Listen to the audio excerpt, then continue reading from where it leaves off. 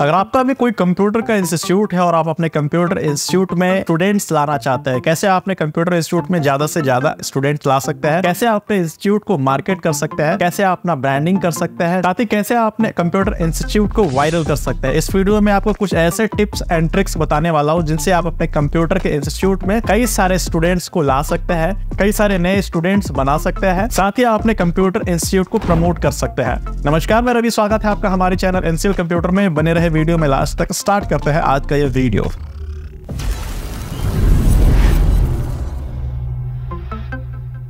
तो सबसे पहले मैं आपको बता देता हूँ कि कंप्यूटर इंस्टीट्यूट में कंप्यूटर के स्टूडेंट्स को लाने के लिए अभी के समय के हिसाब से मार्केटिंग करना आपके लिए काफ़ी इंपॉर्टेंट होगा। किसी भी बिज़नेस में मार्केटिंग बहुत ही इंपॉर्टेंट रोल प्ले करता है। अगर आप अपने कंप्यूटर इंस्टीट्यूट में अभी के हिसाब से, अभी के टेक्नोलॉजी समय के हिसाब से नए स्टूडेंट्स को लाना चाहते हैं, नया स्टूडेंट्स बनाना चाहते हैं मार्केटिंग वगैरह करना चाह रहे हैं तो किन किन बातों का आपको ध्यान रखना होगा? कौन सा नया ऐसा यूनिक क्रिएटिव मार्केटिंग आइडिया से जिसे आप अपना करके नए स्टूडेंट्स तक पहुँच सकते हैं। आपके कंप्यूटर इंस्टीट्यूट में भी नए नए स्टूडेंट्स आ सकते हैं। अगर आपका इंस्टीट्यूट कोई गाँव में पड़ता है, कोई ऐसा आउटर एरिया में पड़ता है, कोई रूरल एरिया में पढ़ता है तो जो टिप्स मैं आपको बताने वाला वो टिप्स सभी कंप्यूटर इंस्टीट्यूट के लिए एप्लीकेबल है। अगर आप गाँव से है, किसी रूरल एरिया से है, कोई आउटर जगह से भी है तो भी आप इस टिप्स को अप्लाई करते हैं तो भी आप अपने कंप्यूटर इंस्टीट्यूट का मार्केटिंग बहुत ही बेहतरीन तरीके से कर सकते हैं। आज जो मैं आपको टिप्स बताने वाला उससे अपने कंप्यूटर इंस्टीट्यूट को भी वायरल कर सकते हैं। तो सबसे पहला काम आपको ये करना है कि आपका टारगेट ऑडियंस कौन है,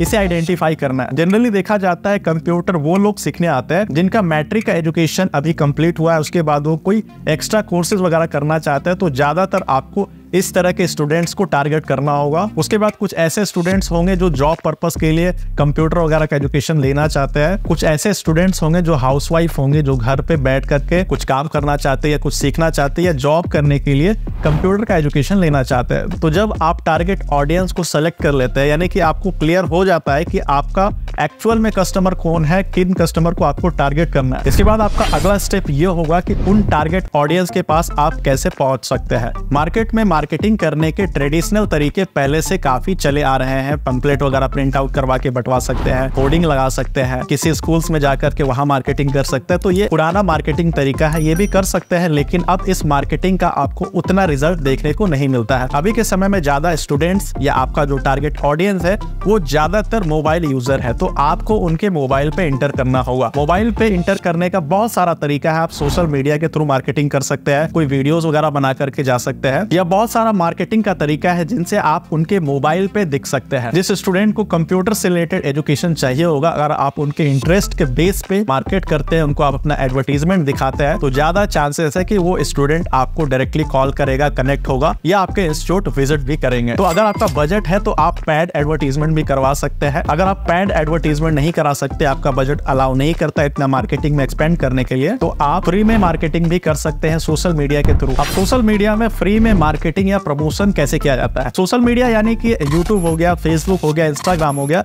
इस तरह के जो प्लेटफॉर्म है, इसे हम सोशल मीडिया कहते हैं। और ज़्यादातर स्टूडेंट्स और आपके ऑडियंस 24 घंटे में से ज़्यादातर समय इन्हीं सभी प्लेटफॉर्म पे बिताते हैं। तो आपको इन सभी प्लेटफॉर्म पे एक्टिव होना होगा। जिस भी नाम से आपका कंप्यूटर का इंस्टीट्यूट है, उस नाम से आपको यूट्यूब का चैनल बनाना होगा। फेसबुक का पेज बनाना होगा। इंस्टाग्राम की आईडी क्रिएट करनी पड़ेगी। सभी में आपको रेगुलर बेसिस पे वीडियो अपलोड करनी होंगी। अब इसमें कौन सा वीडियोस होगा, वो भी मैं आपको बताता हूँ। मार्केटिंग का सबसे प्रीमियम टेक्निक होता है प्रीमियम मॉडल आपको भी पता होगा जो एजुकेशन आप कंप्यूटर इंस्टीट्यूट में प्रोवाइड करते हैं। ज़्यादातर कोर्सेज के वीडियो यूट्यूब में फ्रीली अवेलेबल है। तो आपके पास स्टूडेंट्स क्यों आएँगे? आपके पास कुछ ऐसा यूएसपी होना चाहिए जिसे देख करके स्टूडेंट अट्रैक्ट हो और आपके पास पढ़ने के लिए आए या एडमिशन करवाए, या अगर आप ऑनलाइन कोर्सेज वगैरह भी बेचना चाहते हैं तो वो आपसे परचेस करें। तो आपको ऐसा यूएसपी क्रिएट करना होगा। अगर आपके पास कोई ऐसा यूनिक यूएसपी नहीं है तो कोई बात नहीं। आप अपने पढ़ाने के स्टाइल को ही या जो आप पढ़ाते हैं स्टूडेंट्स को उसी का कोई एक क्लिप्स को आप बना करके यूट्यूब वगैरह में अपलोड कर सकते हैं शॉर्ट्स वीडियो बना सकते हैं। या एग्ज़ाम्पल के लिए मैं आपको एक वीडियो प्ले करके दिखाता हूँ। सपना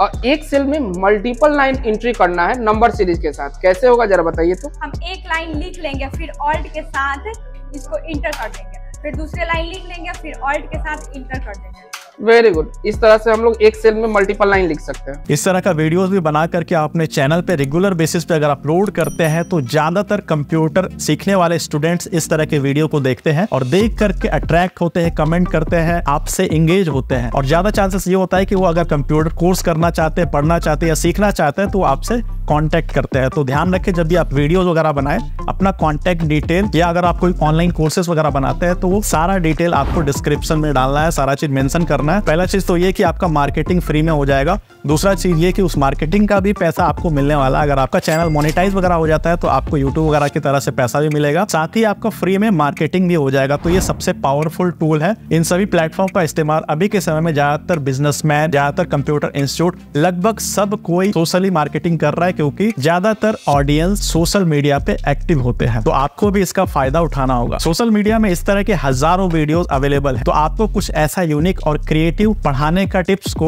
शेयर करना होगा, जो जनरली यूट्यूब पे अवेलेबल तो है, लेकिन आपको कुछ ऐसा स्टडी का अनोखा अंदाज शेयर करना होगा, जो यूनिक लगे और उसे डिफरेंट लगे, जिससे ज़्यादा चांसेस होगा कि आपका वीडियो सबसे ज़्यादा रैंक होगा। सबसे ज़्यादा वायरल होगा और आपके वीडियो से स्टूडेंट कनेक्ट कर सके। इस तरह के वीडियोस को आपको बनाना है यूट्यूब में इंस्टाग्राम में फेसबुक पे और अदर प्लेटफॉर्म पे। अगर आपका भी कंप्यूटर इंस्टीट्यूट केवल ऑफलाइन में है और आप ऑफलाइन में ही क्लासेस वगैरह लेते हैं और ऑफलाइन में ही पढ़ाते हैं तो इससे काम नहीं चलने वाला। आदि के समय में आपको ऑनलाइन भी आना होगा। जैसे मैंने बताया, आपको भी सोशल मीडिया पे एक्टिव रहना है। साथ साथ ही आपको कुछ कोर्सेज वगैरह बनाने होंगे जो आप ऑनलाइन बेचे। यानी कि अगर आप कुछ फ्री में प्रोवाइड कर रहे हैं तो अगर कोई स्टूडेंट इंटरेस्टेड है जो आपके लोकेशन से नहीं है, कहीं बाहर से क्योंकि YouTube, Instagram, Facebook पे जितने भी वीडियोस वगैरह चलते हैं वो वर्ल्ड वाइड चलते हैं। यानी कोई स्टूडेंट्स बाहर से देख रहा है और आपका वीडियो उन्हें पसंद आता है आपका पढ़ाने का अंदाज उन्हें पसंद आता है और आपके कोर्सेज वगैरह परचेस करना चाहते हैं तो आप ऑनलाइन कोर्सेज वगैरह भी बना सकते हैं। उन सभी कोर्सेज को रिकॉर्ड करके आप अपने पर्टिकुलर वेबसाइट में लाइव रख सकते हैं जिसे परचेस करने के बाद वो स्टूडेंट्स आपके वीडियोस को एक्सेस कर सकता है और ऑनलाइन ही कोर्स कर सकता है।